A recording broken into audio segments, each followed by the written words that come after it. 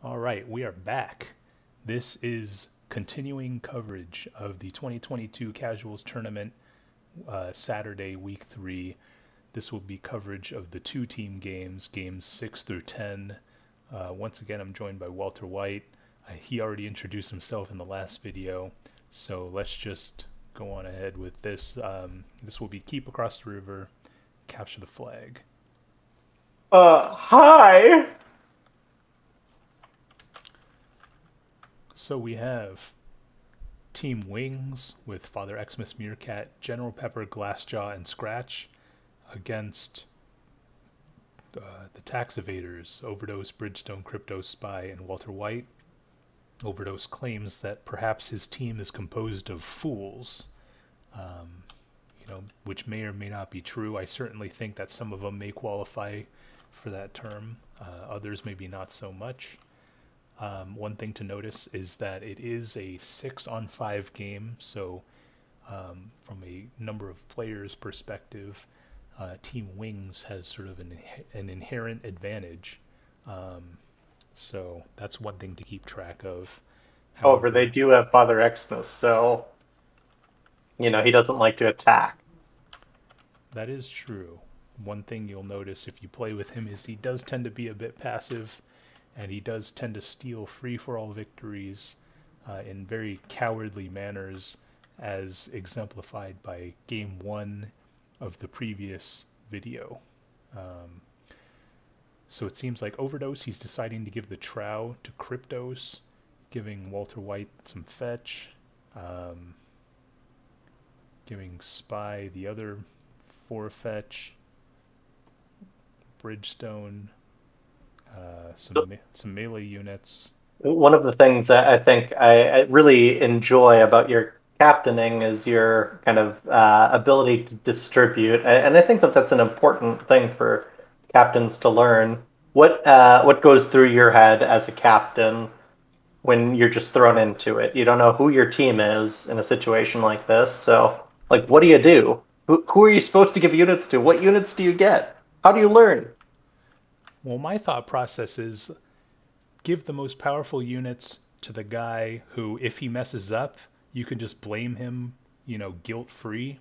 And so that's why I gave the Trow to Cryptos, because if he were to mess up and lose all of his Trow for whatever reason, I would not hesitate to sort of pin this entire loss. You know, assuming we lose the Trow, we lose the game.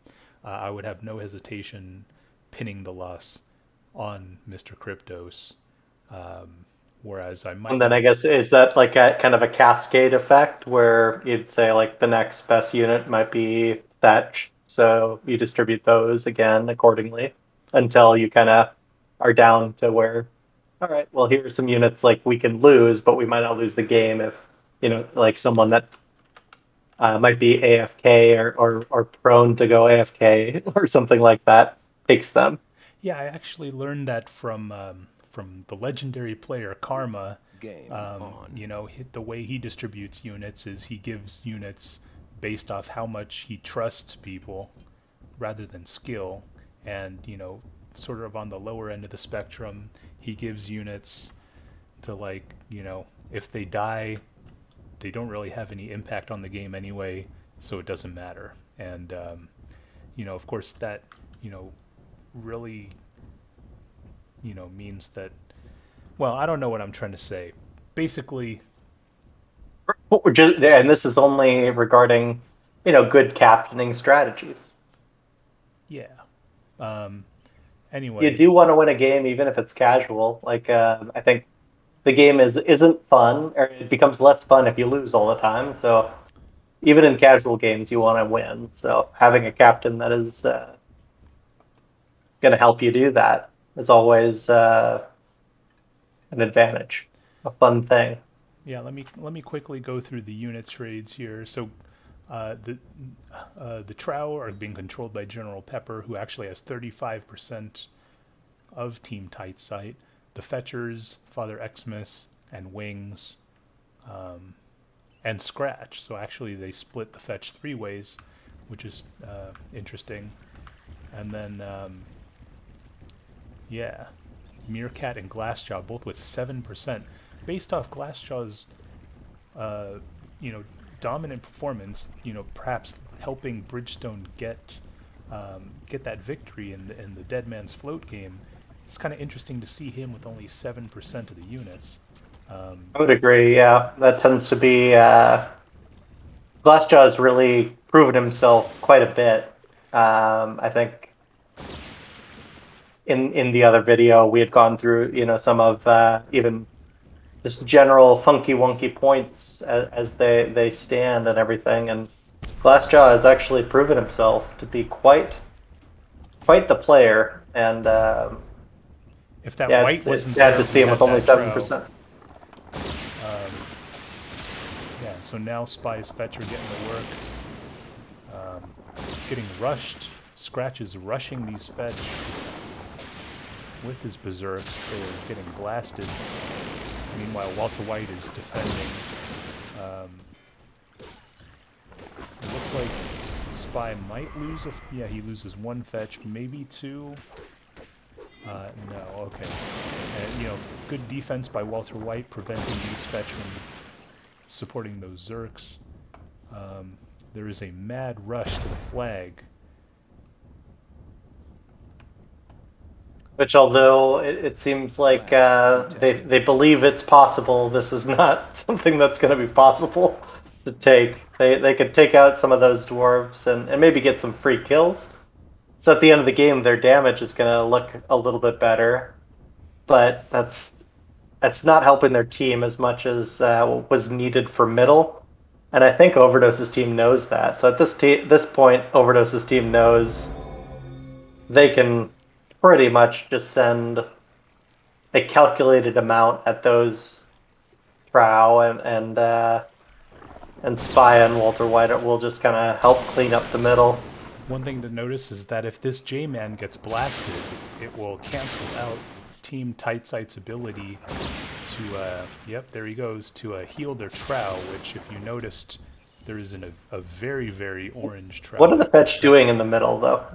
Yeah, I saw that. That would be very helpful. Like, yeah, you need to heal that Trow, but what uh, the fetch are are fishing. It looks. So, so they see like a little arc of electricity, and so they knew there were wights in the water. Yeah, Spy killed one of those wights. It looks like Wings was able to flank. Maybe maybe he walked all the way around. I, I, I don't know.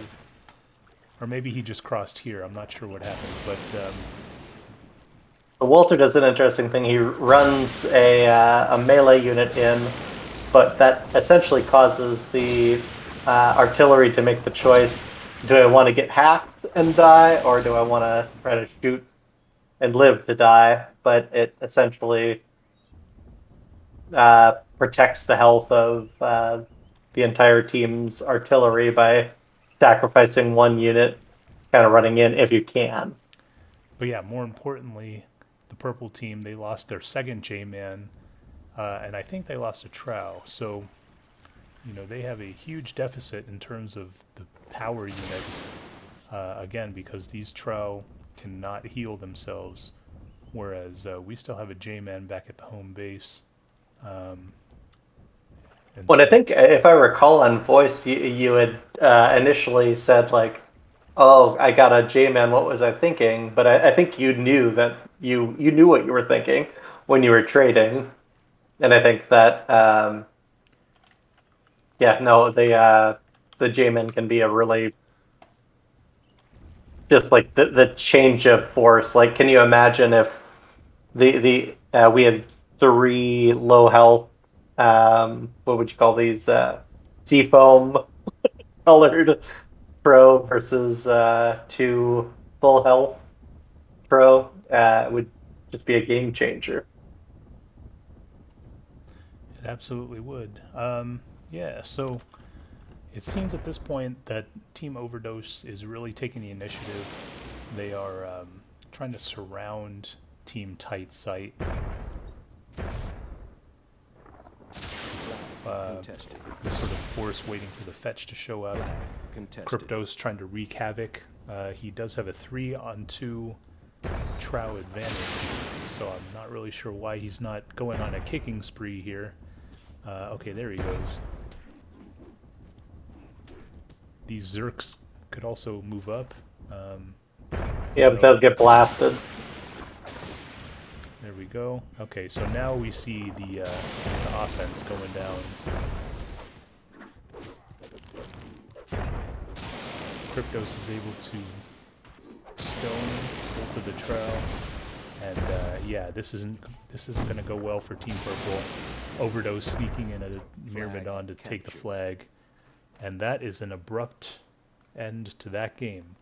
So Kryptos leads the pack with 98 damage. Obviously, he was the guy who had all three of the Trow.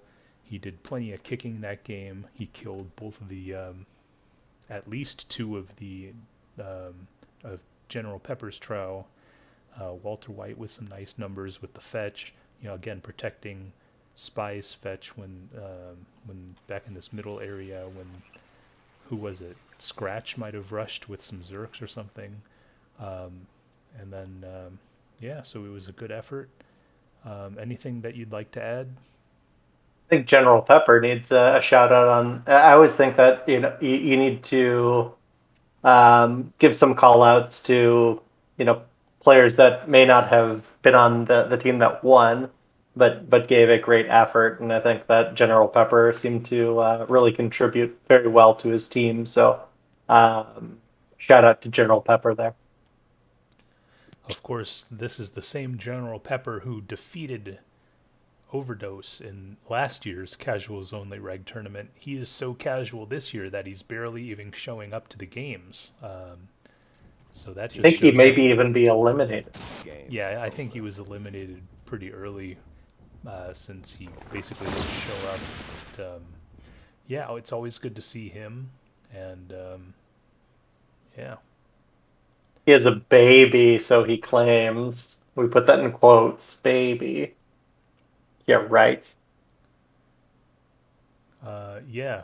Um, so game seven, Green Divide, Assassin. Uh, let's just jump into this. All right, so this is that map where, um, by popular demand, we uh, got some forest giants here. Uh, we have Walter Wight, Cryptos, Overdose, Birdstone, and Scratch against Spy, Father Xmas, Glassjaw, Wings, and Meerkat. So um, I'm not exactly who it was, but somebody left, and so now it is five on five. And um, if you'll notice, the assassin targets are these uh, these statues. There are three on each side. One, two, three. And uh, so this is basically a clone of a different map called Dark Canyon, um, just with a lot more grass on it. Uh, but it's the same, the same sort of terrain and all of that. Um, and unfortunately, uh, well, we we love Spy. This is not his map. He's never really seen it before, and is capping, uh, doing captaining, and so it seems like Father Xmas is trying to basically give him a trade so that uh, he can succeed. Whether or not that's the, the best thing to do, I think that sometimes it's better to to let a player that's as uh, seasoned as Spy to, to to pick his own units because I think sometimes um, if you tell him what to get, he distributes in a in you know he, he needs to be told specifically distribution and i think it's almost better to just say just do it you know and, kind of get your get your pants wet so yeah, I mean, it'll be I, interesting I think, to see. I think Spy in general is a very disgusting human being, but to his credit, he also does have good myth instincts, and so sometimes, you know, if if you're being told what to do, you don't you don't get those those um, myth 2 instincts, which I think he does have, and so he probably could have come up with a decent trade uh, without any input from Father Xmas. But um, know, and with that said, I'd say I've lost more times when I've told Spy what to trade for than when I just tell him just get what you think and do it. So yeah, so, Spy, if you if you need any encouragement, you know, just do what you do, man. Yep. Um, okay, so it, it appears as though we actually have some pretty similar trades. Um, yeah, I mean, What's this? Father Xmas uh, just followed what you've done in the past. He only watches your films. I, that, that's only what he's told me, right, Fats? I'm not sure. um, and so Walter Wight does not have any Stygian Knights, whereas Spy's team probably has maximum Stygian Knights um, in favor of fewer Or my soulless. trades, I Uh, those are those are sort of the, the major differences I see. Uh, apart from that, it's really um, kind of an identical trade. Um, we see Cryptos with the Forest Giants for Team Walter Wight. Um, Father Xmas and Spy, each with a father, uh, with, with each with a Forest Giant. Um, Spy not moving his for whatever reason, whereas whereas Walter Wight's army is moving as if they have a plan. Um, so And so uh, it looks like uh, Kryptos is uh, is rushing. So if you follow the Spider Queens of Team Walter Wight, uh, it seems like Kryptos was given the Spider Queens and the Forest Giants, and uh, Kryptos has proven his valor time and time again. So you know we, we want to give him credit where it's due, and uh, and here he goes but at the same time, we, we do need to see other pressure from other players. So, and not many even seasoned players know what the Spider Queen does. So this will be interesting to see. Yeah, so crypto is really just right off the bat losing a forest giant, not really inflicting any damage. However, his Myrkridian And losing all all Spider Queens. Sorry. The, his Myrkridia are gonna almost kill a target. Um, now overdoses, soulless are able to uh, kill some of these spider queens. I think he should be targeting the forest giant rather than this. Well, I mean the spider queens are all terrain, so it might be important to kill. But um, yeah, now overdose is getting to uh, killing these. You know, he's almost with two volleys of arrows almost freezing. There he goes. He kills that entire uh, forest giant right there. What did you think of my strategy to do that many Soulless all to one player? Um, I don't know. I mean, it, it it just so happens that you know it worked out in our favor, but But it's map- also on this map. in and- map with and Fet, we see even you blasting a bunch of my Soulless away. Uh, so I mean, I you know it it's it's debatable because typically you don't want to get so many Soulless on like a fetch map, right? But um, you know, Well, not on one like this though. Um, and I think we got max fetch already, and so it was kind of a, a matter of how do you want to distribute the rest of the and units we see more so. Able to completely demolish the second Forest Giant. And so if uh, if you do get someone that you, you feel can competently run Soulless, I uh, I advise doing you know maybe a, a more heavy Soulless approach. But for this, it um, it certainly was a gamble, but um, but I think it, it proved very effective. Well, we have this huge pack of spiders coming after Overdose's uh, Soulless. And no one is seeming to protect him.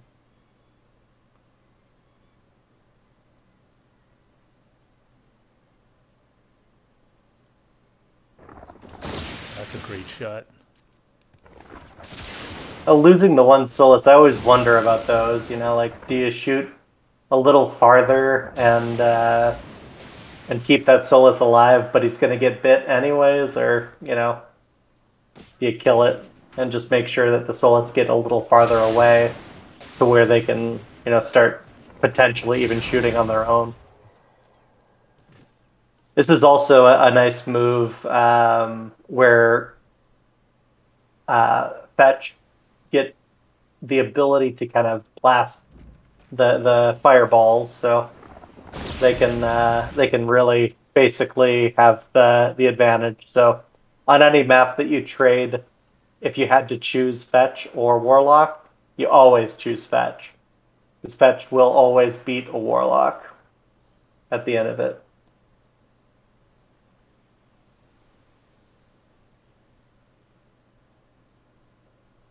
See a melee fight going on here.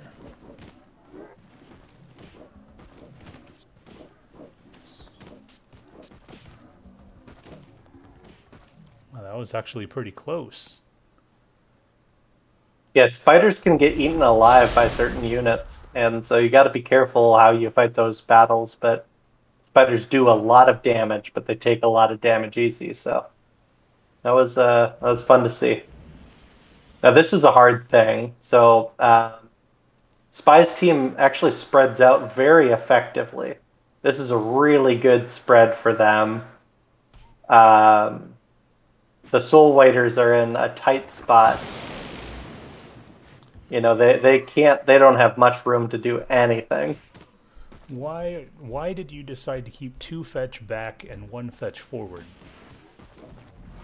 I was kind of t- the one fetch was to shoot the lock shot, essentially. So you kind of look at what the lock's mana is and where it's at, and so you, you uh, sometimes like offsetting a shot is better than getting damage. Uh, because it takes them like what 10 to 15 seconds to get another shot off.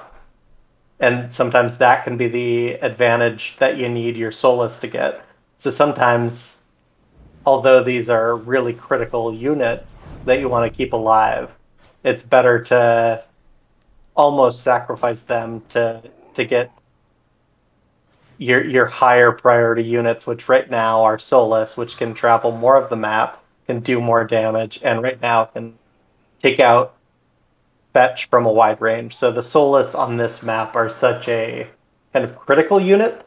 They're almost the best. And a lot of times players are given Soulless and they think, ah, oh, well, you gave me the shit unit. No, we gave you one of the best units. And uh, it's only shit if you let them die and uh, Overdose is not one of those players that lets them die. So uh, he was given a very critical role and did well with it. Well, you can make the argument that to a certain degree, everybody plays a critical role. I mean, no matter what kind of units you have, if if you die, it's not good. Um, you know, well, no, but, well, in non-casual games, I think that players are sometimes given like two thrall. Like, oh, I, I distributed units to you. Yeah, you watched the flag, buddy. Have fun. Yeah, well, I mean, speaking of two thrall, again, you know, we saw we saw Glassjaw last game with seven percent of the units. Um, we see him now with nothing. Um, you know, do you think that he could have been reinforced with some units? But even if he did get some units, what could he have done? Uh, who knows? But um, I mean, he appears to be question. he appears to be completely disheartened because now he's saying AFK BRB. Um, you know, he's basically taken himself out of this game, uh, possibly due to the fact that Spy is not giving him any any kind of reinforcements. Um, so who knows? But um, yeah, I mean, I I don't know why Team Walter Wight is taking so long to kill this target. Uh, it's been unoccupied for quite some time.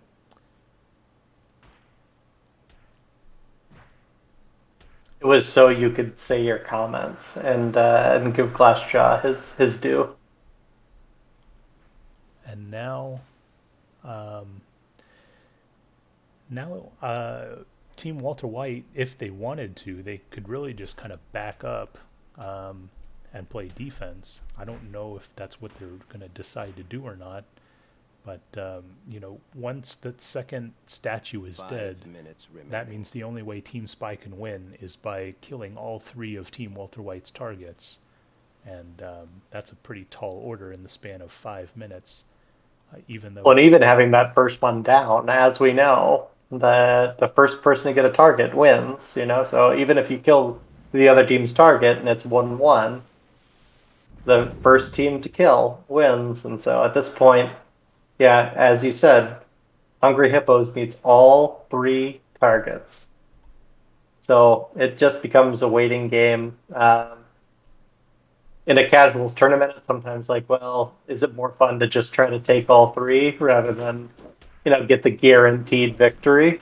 I think that that can come into it, but um, let's just kind of see how how we decide because, you know, uh, with four minutes left, I hate when myth the wait wait people time, you know, because if it just is a matter of falling back, that can also be if the other team is not being aggressive, it can waste everyone's time. So we'll see. Overdose calling just D. So we might have a very dry next three minutes, three and a half minutes. Not really sure. Um, yeah, with the percentages so close, I think uh, Walter Wight and Overdose are, although they're casual players, they uh, they like to see Father Xmas a guaranteed loss. So, well, at least I would say Overdose does. I mean, if there was Judging one, if the there was one player that I would enjoy watching them lose every single game, it would actually be Cryptos. But since he's he's on our team, um, there's not much you can do. Not much yeah. we can do, yeah, except suicide. But of course, I well, would... you gave him the Forest Giants to to suicide, so that was no, nice. That, that was you, man. You're the captain. I didn't do anything, but. Oh, that's right. Yeah, that's true. But yeah, cryptos. Really... I think that the game before you had done something like that, where you'd given him the the Trow. So I'm like, well, if that's the the effort of the game, then then I'll I'll do that. But also with this, this comes down to more of a uh, a fetch soulless battle and uh, I think the Spider Queens in general, uh, when when we had thought about this in retrospect, the Spider Queens could be a crazy change of pace. So I, I think that in a non-casuals game, you would tend to split your units a lot differently. You'd probably split uh, more four ways on this so not even a three prong approach, but like a four prong approach if you had eight players per team. Or so well, you know, that's pretty tough too. So with even four players per team, I guess you could do it. It's just a matter of trusting who you have. So I think um, with these players, it's better to kind of take a a more central approach to, to things. Um, go heavy on a single target. Try to get it as soon as you can, and uh, and see where you're at. But but teams that know how to defend some of these targets quickly are, are going to catch you on it. So these are these are fun kind of tries, but this is uh, this is one of the more advanced maps, and it, it's good to get everyone's feet wet a bit. One minute remaining. Yep, so uh, once again, Spy needs to kill both this target and this target with 45 seconds left. Um, it's not looking like he's going to be able to do it. And I think that it's sort of a foregone conclusion that despite being down by 7%, uh, Team Walter Wight is going to escape with the victory. Remaining.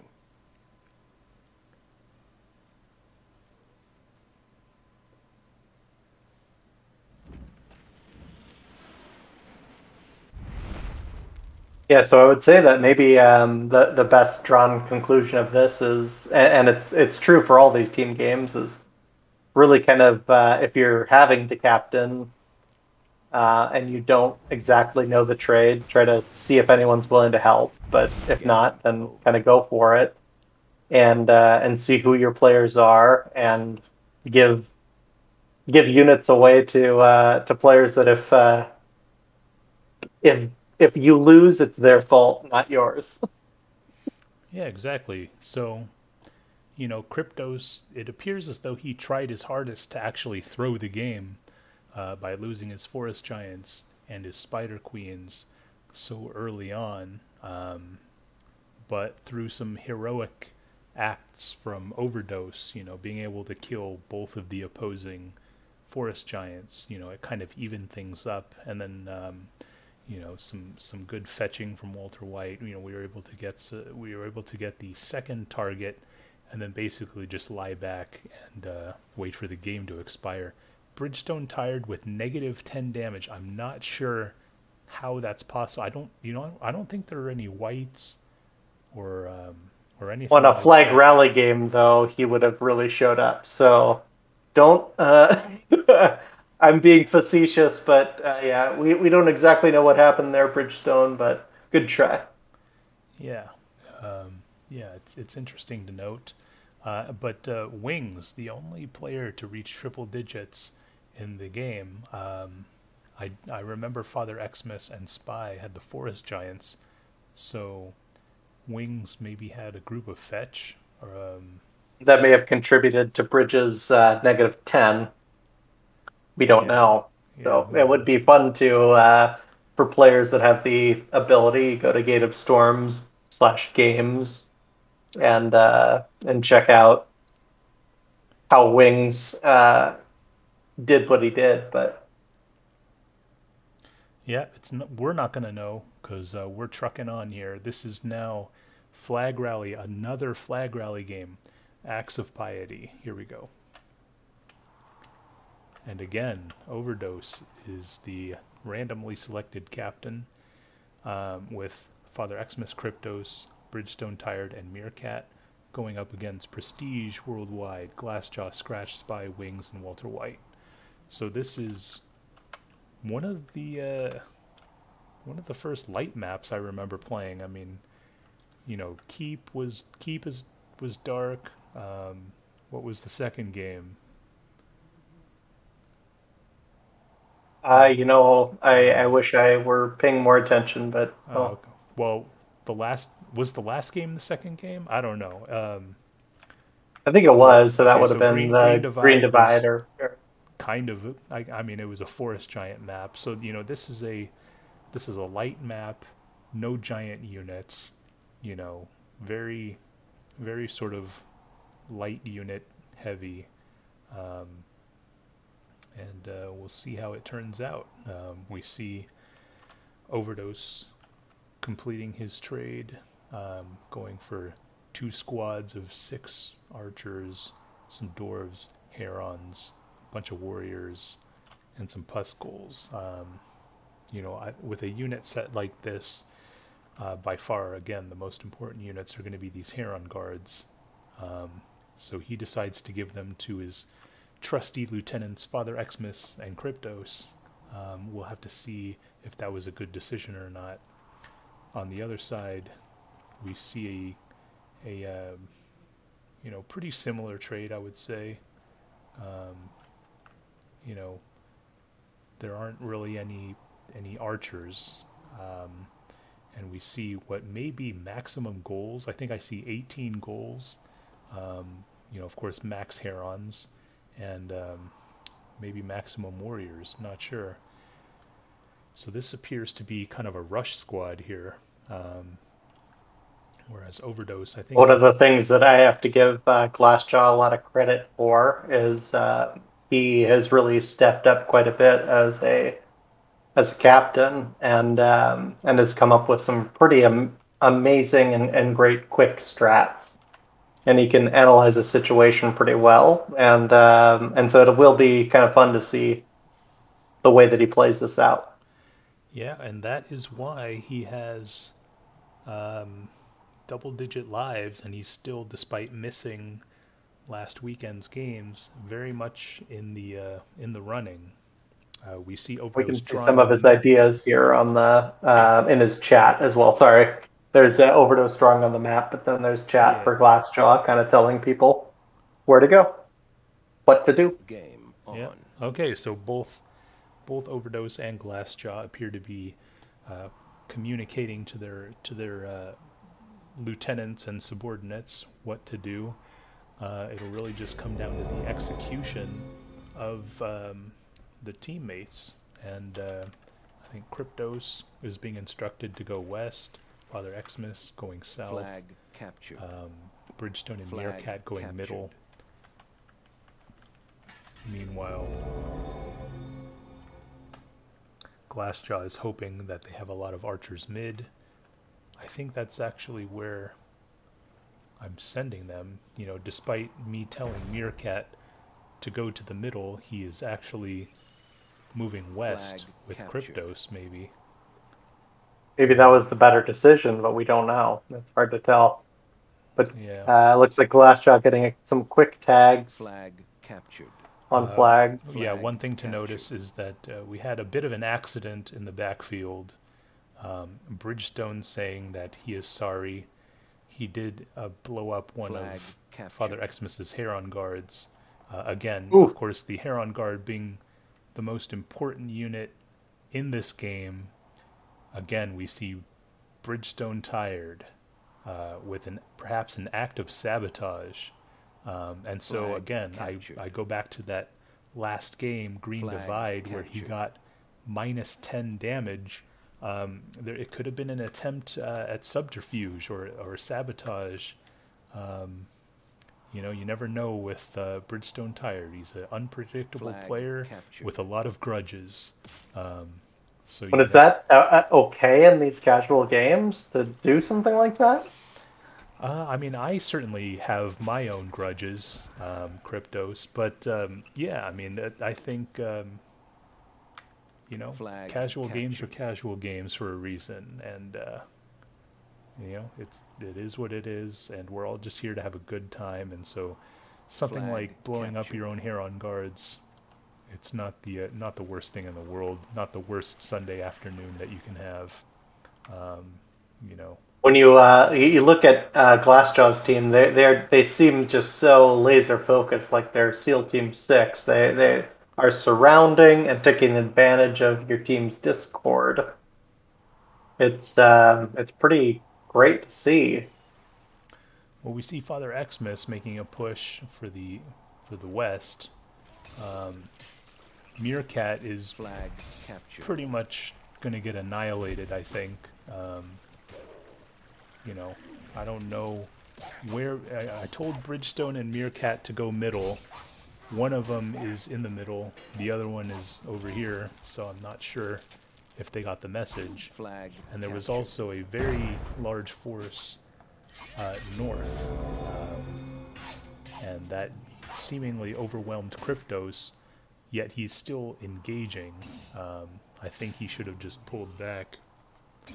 Um, overdose controlling the defense, not really doing much. But yeah, uh, Bridge Seemed like maybe not Kryptos' best game there. Flag capture. yeah, And and who is running Yellow's forces up up north? This would be um, who's this? Scratch Spy and- and Scratch. They're doing a, a great number. Yeah, Good to see Mr. Scratcher back. Great to see Spy getting his legs. Uh, I don't know. I mean, his legs are so strong. From he he literally bikes over like hundred miles a day. It seems like so. Uh, his legs aren't weak, but he might be tired when he plays sometimes. Captured. Victory imminent. I mean he always seems to be tired. Um, that's a, a foregone conclusion. Yeah, and so I, I think at this point, Kryptos should just abandon his warriors and just get these Heron guards to the home base. Um, you know, unfortunately, he's he's a bit boxed in. There doesn't appear to be any kind of help whatsoever because. Um, I think when you see an 80%, 50%, it's yeah. it's pretty all, much all the, all the offense on. is really sort of at this southern area. Father Xmas went sort of unobstructed, um, but he's going to have a hard time grabbing this flag.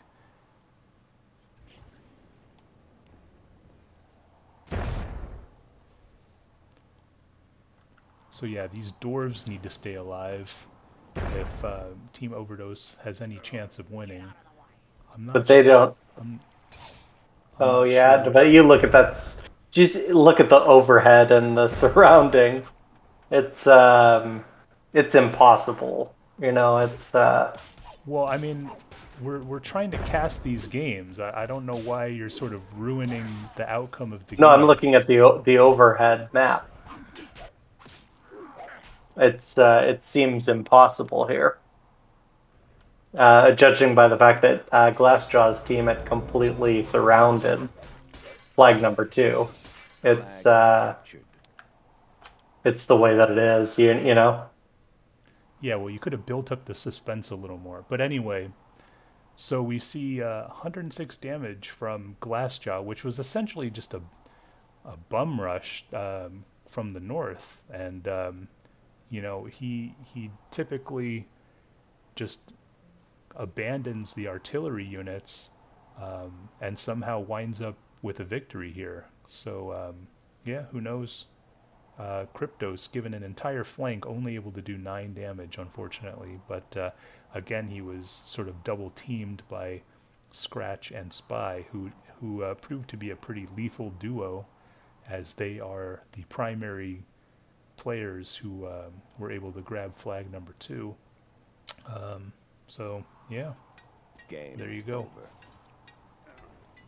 I apologize to the the television audience.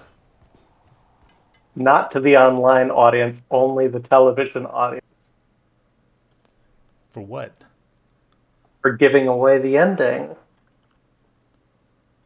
Oh, okay. Did someone?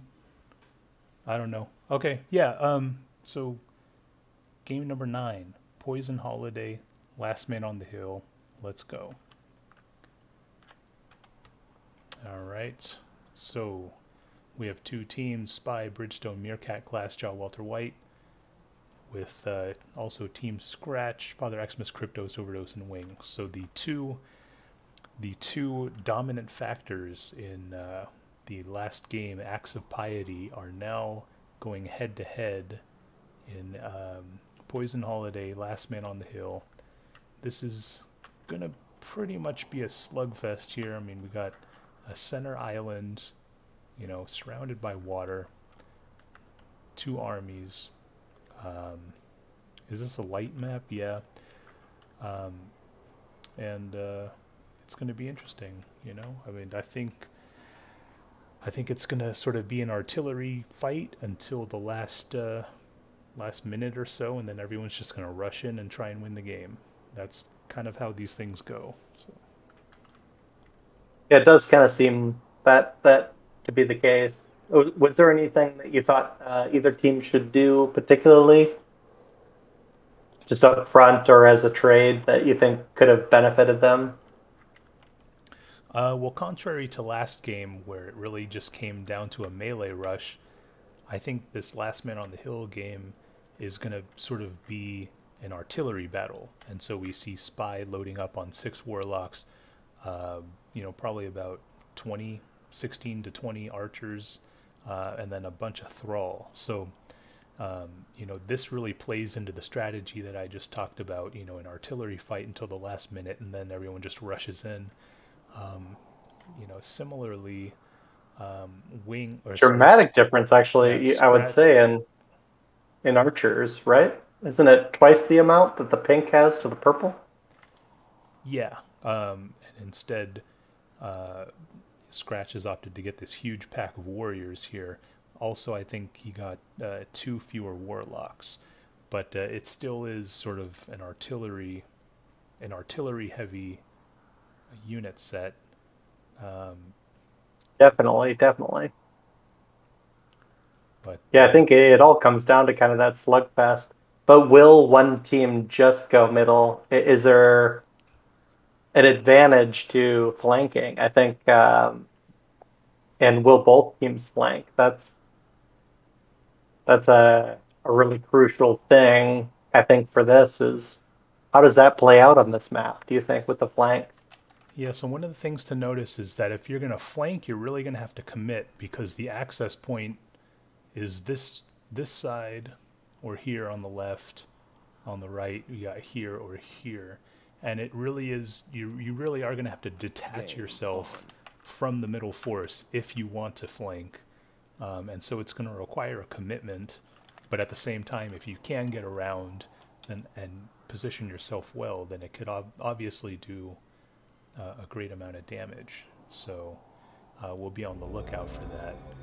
Um, I don't think anyone is necessarily calling for a, a um, flank. Spy and Walter Wight going uh, all mid apparently, whereas Scratch's team appears to be going, well, Overdose appears to be going to the east. So again, Glassjaw getting a little bit of the short end of the stick if we look at unit percentage at the beginning of the game.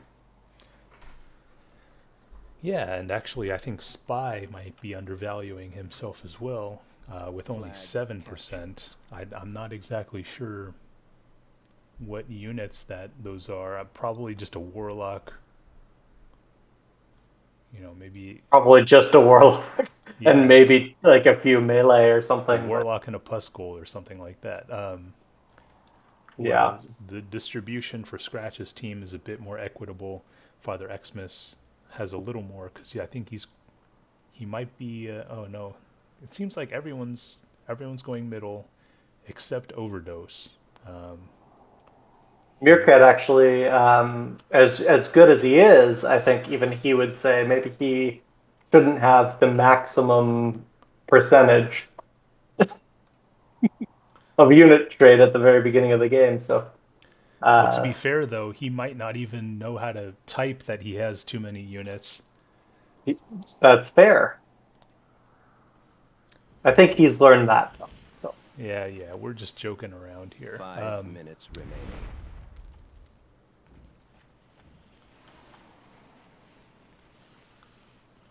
But yeah, we see um, overdose doesn't really have any kind of resistance here. Glassjaw correctly points out they have a flank coming. Um, meanwhile, everyone is just sort of jammed up in the middle here. Now, do you think uh, Walter, you and you know, you should be calling for reinforcements. You know, you've got six warlocks, and four of them are just sort of chilling back here. Uh, meanwhile, you're sort of on the front. well, so I think that it's yeah. I, I feel like I have trouble typing like mid game, so it's yes. I think I should be, but I don't have. I think I'm focused again, kind of on let, let me kill. But I think that that is a good point. Sometimes you can get more across because uh, Meerkat was actually following very specific directions here uh, about kind of move the. Uh, so so we got like a big thrall trade, uh, and so it was designed to be move your thrall slowly across the water and slowly push on them as you kind of shoot above. But he, uh, I guess, understood it as kind of stand back. Flag. And so you don't see those thrall moving forward, but you don't see those archers making any contact either. And so it's a it's a hard situation. we saw a nice shot there from uh, somebody's archers killing one of Scratch's warlocks. We see a, a flank here by Overdose and Wings, um, sort of a side battle. But now uh, we also have Father Xmas coming in with his Heron guards from the west, putting on pressure and uh, sort of bottling up these units here. Um, I don't see any killing. Okay, there we go. And Father Xmas wasting some heals on healing Thrall. That's a questionable decision. But it does vet the Heron guard. Captured. It does So it- a it- kill, it but can- uh, It can be useful for maybe Heron Guard heroes. But yeah, if you only have the single heal, that can be a a late game disaster. Flag. you see uh, overdose uh, sort of Flag lost. killing this this defensive captured. force here. Flag. Contested. Middle is uh, this is going to be a big swing for. Well, I guess it it just was. Uh, it, we were originally at 74, 74, about. Now it's down to 50, so there was a big swing somewhere. Flag lost. Yeah, it could have been Father Xmas coming from this side, killing a bunch of Thrall. Uh, wings with a massive shot on Meerkat's uh, archers, gonna blow up most of them. Uh, I don't think this fireball is gonna quite get to kill Meerkat's other group of archers. So, Uh, so but that the was fact- the downside with the with Meerkat with the strategy we had Meerkat having to run. Um, maybe too many thrall, too many too many units for for someone that new to have to run. Yeah, I if- will I give mean, he- a complete had- transparency and say that I told um, Spy the trade um, Meerkat ultimately ended up having to maybe do more than he's uh, bit off to, to chew. I think Yeah, if we had Spy running more of those units, I, th- I think that could have been a a difference. But but well, that's hard. Gave him, Spy gave himself seven percent.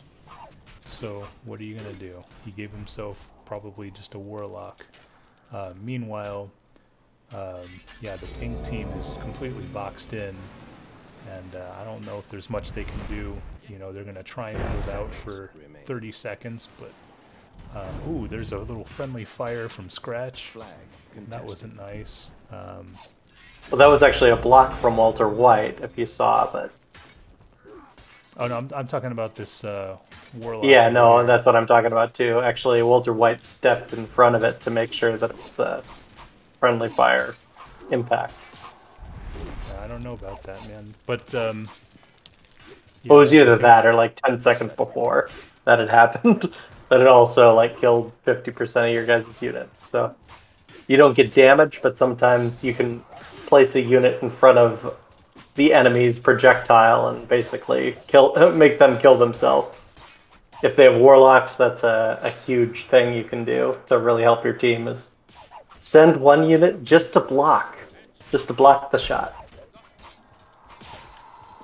Yeah, and actually, this game is a lot closer than it should have been, um, or at least, yeah, I think. Uh, Game. yeah, that's about it. Okay, so yeah, I mean that was an interesting game. Um, again, kind of strange how Spy only gave himself seven percent. Glassjaw again, you know, given what 14, 15 percent, something like that. Meerkat twenty five percent. Um, I think Father Xmas had a great push from the uh, what would this be? The western side with his Heron guards.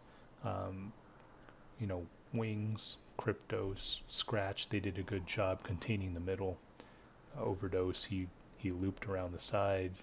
Um, and uh, yeah, I mean, uh, I think I think Team Spy might have benefited from running at least some small forces to the flanks, and then just backing up if necessary. But um, yeah, it wasn't meant to be.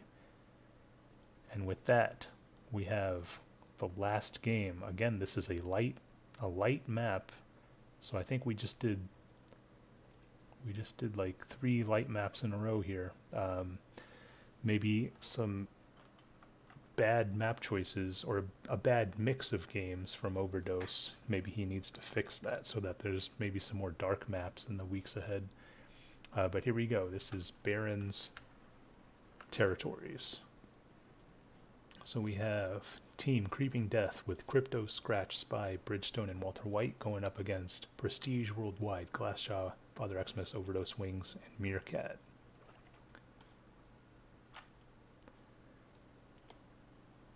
It'll be interesting to see both of these captains' choice. Lately, I've been I've been really trusting Glassjaw's opinion, so um, it'll be interesting to see how he, he fares against uh, such a seasoned player as Cryptos. Yeah, I think both of them make uh, you know aggressive trades, and um, you know they don't like to sort of draw out games. They would rather just kind of get it over with. I think, and um, so it's it's gonna likely turn into a slugfest type game, and uh, you know, with those are always the most exciting to see, and uh, I expect some good things from this game. So hopefully, okay, so we see Glassjaw, perhaps a bit of a faster trade. Um, deciding to give all uh, all of these warriors to Father Xmas. That's quite a huge group of guys.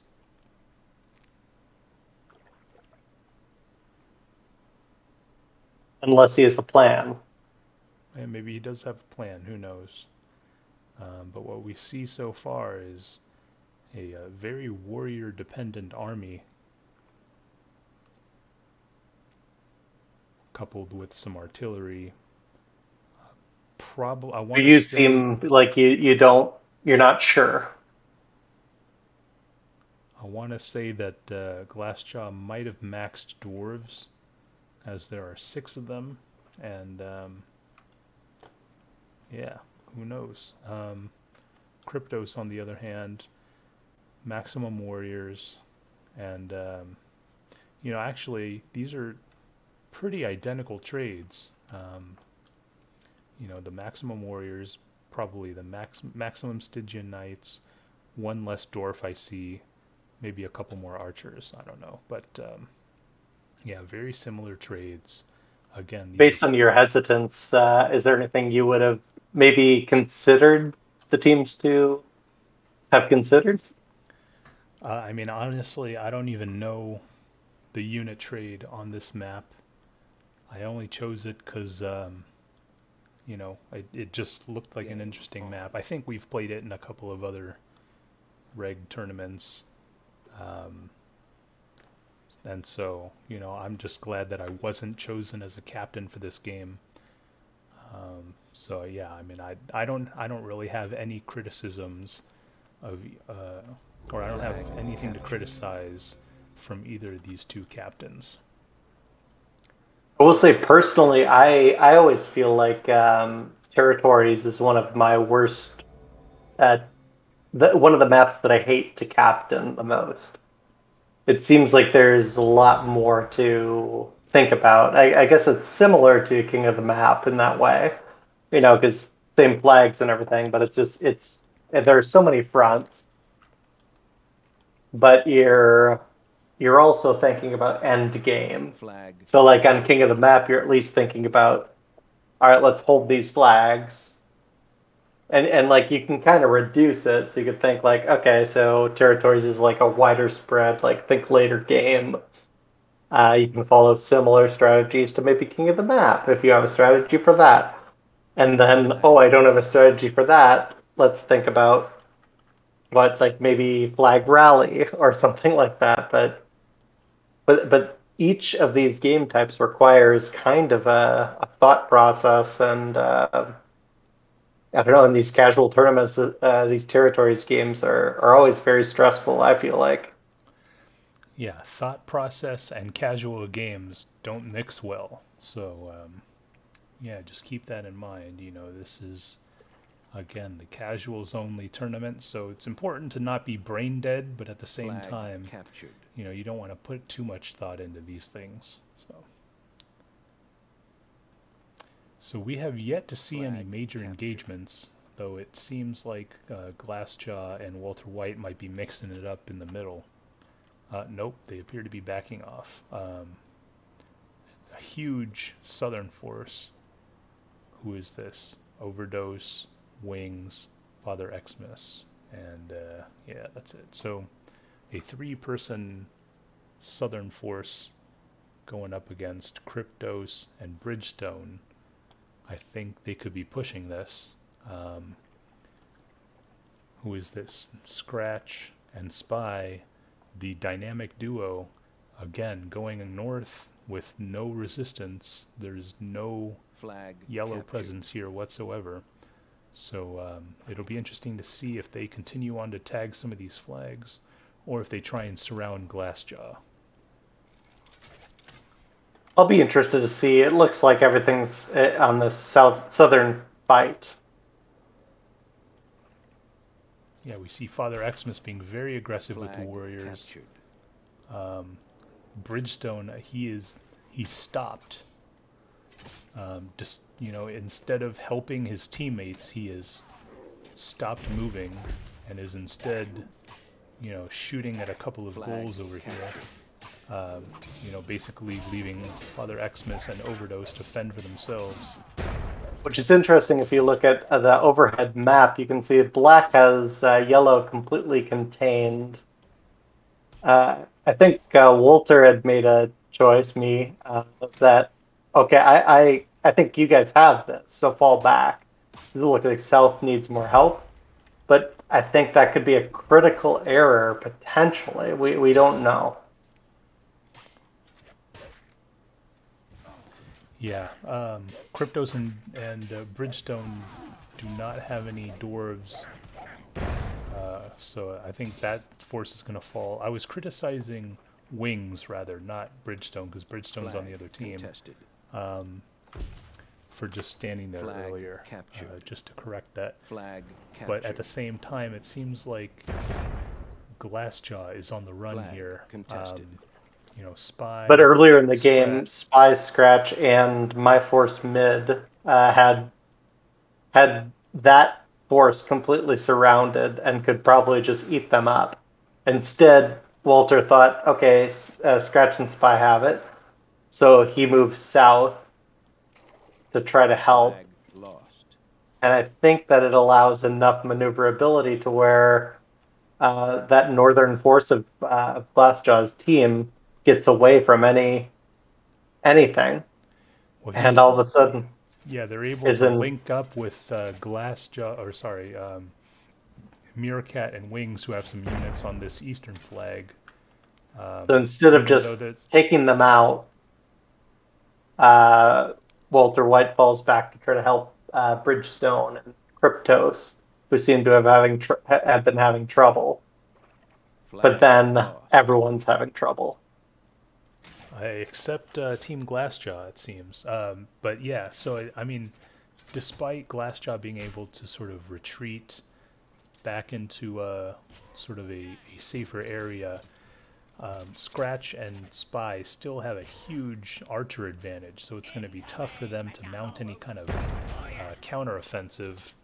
And and to that end, I don't really know why. Okay, yeah, they are starting to pull back, um, and the main the main uh, Glassjaw army is sort of trying to group up with with this stranded Flag bunch, captured. and I think Walter, you're trying to link up with Scratch and Spy to envelop this group of units. No, originally we had them enveloped, and it was so enveloped that it just seemed like um, Scratch and Spy had way too many units, whereas. South with Bridgestone and uh, uh, the the way that uh, Kryptos's units seemed to be just dying, uh, it seemed like they needed more help. So I I retreated, hoping instead of just like killing North and then you know facing South, I just faced South, but that allowed enough space that uh, the yellow team was able to escape. And uh, and yeah then then it just became a, a dominance thing for for yellow. Yellow was able to kind of come back around. I don't know what happened south. That was a, a very poor play by Kryptos and uh, and bridge like so much so that even with support they couldn't do anything Well, I mean, they were getting rushed. Yeah, but it was to the point that it's yeah, like it's uh it's it's interesting just to look at the overhead map of this one of of how the units were distributed. So Well, I mean, I, I still think that uh, ultimately now, in retrospect, I would just say, okay, Scratch Spy and me close in, kill North, and then we can just face South. That's probably a better strategic decision, but Yeah, maybe. I mean, I, as much as I hate Kryptos, I wouldn't really pin this one on him or Bridgestone. I think that, um, you know, it was it was three on two. They they couldn't really do much. So I mean, I, you know they they they did what they could, but uh, yeah, I don't know. But yeah, it, it seems you know with forty nine percent to seventeen percent, captured.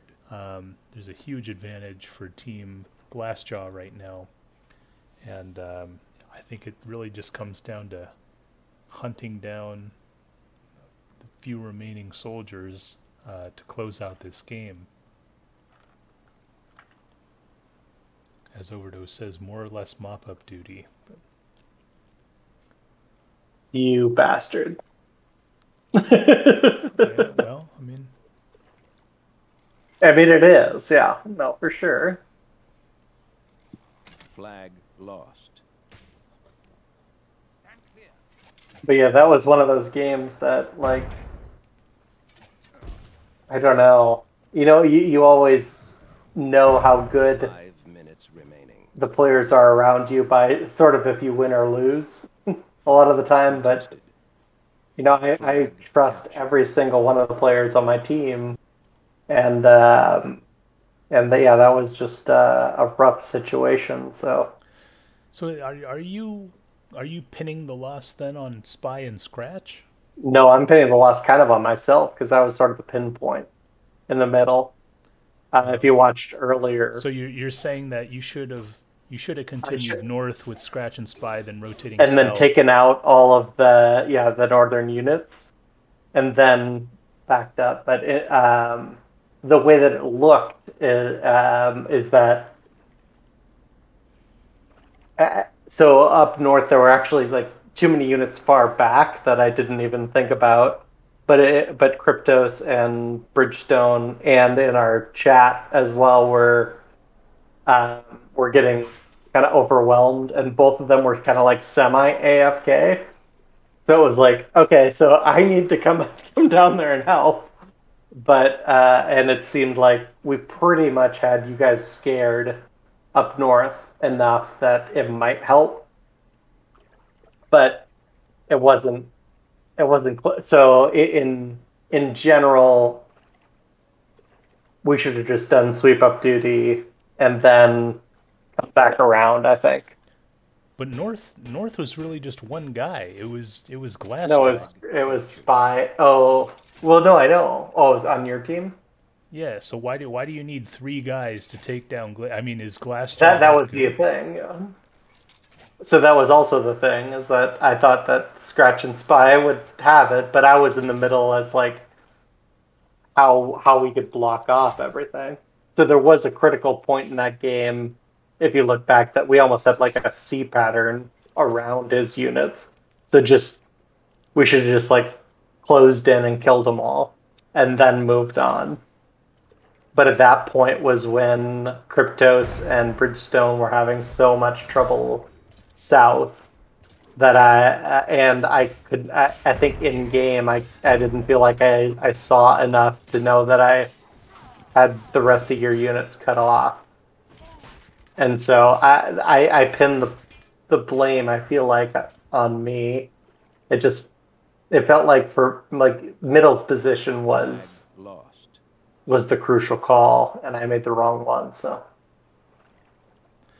Well, Glass Glassjaw says will executed guys. Um, he's obviously happy, even though I don't know if he really did anything that game. Flag he captured. capped well. He, he's a good cap. He picked the right units. Yeah, I guess so. Uh, I'm trying to track down who this last Kryptos Flag unit is. I don't. Maybe someone here. There's a warrior there. Yeah, this might be the last one. So it maybe it might be overdose who gets the uh, Flag the coup de captured. grace, so to speak. Flag contested. Team There eliminated. I'm go. frustrated about that game, but yeah, no, it was a GG, and and to see Mr. Father Xmas get another point. But now it's uh, everyone needs to be concerned about these Xmas wings and overdose characters. Yeah, I mean, I, I would say that it, and when it comes to Father Xmas and points, it's really important to focus on those free for all games because those are, I, I think, a bit more impactful in regards to preventing him, you know, from getting too many lives. One for everyone to gain Uh, points. You know, the, you know, the yeah, two team games, for lack of a better, you know, the, uh, they're more or less a coin flip. Um, so, you know, if if we can keep Father Xmas to 50-50, I think that's that's okay. But as far as the free for all games, that's where he's going to lose the most if we if we come together and uh, try and prevent him from from surviving. But um, Well, I need to gain a few more lives. Uh, uh, unfortunately, this last weekend was was a rough one. So Yes, and we are past the point where uh, players gain lives. Now it's just downhill. Uh, let me see the uh, the results for week three, Saturday. Uh, yeah, here. that's why I asked my nephew to be born this last weekend. Oh, I mean, on Glassjaw's son's birthday. yeah. Um, so are, are you implying that you and Glassjaw are brothers and that his son is actually your nephew? I think that's the implication, but it's not true. No, It just happened to to work out that way. All right. Well, anyway, um, so we see a whole long list of dead people, but um, Father Xmas with 11 lives, Overdose with 9, Glassjaw with 7, Wings and Walter Wight with 8, and Kronjak just barely hanging on with 1 life. Again, we were going to repeat the uh, the same format on Sunday, and so if any of these players play on Sunday and they end up with a better score, I would be using the higher of the two scores moving into week four. Um, but those those results It would be reviewed- fun if, like, in a spin-off series, we could do like a like comeback. You know, like whoever wins, but then it's you know like Survivor. like, oh, but all of a sudden these people came back to life. Boom. you know.